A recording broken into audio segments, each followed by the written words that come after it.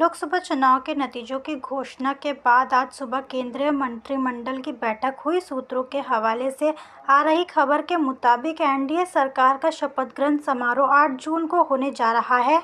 इससे पहले 7 जून को संसदीय दल की बैठक होगी। इस बैठक में प्रधानमंत्री नरेंद्र मोदी संसदीय दल के नेता चुने जाएँगे। लोकसभा चुनाव में एनडीए के खाते में 293 सीटें आई है और बहुमत के आंकड़े 272 है। ऐसे में एनडीए की राह में कोई रुकावट नहीं है।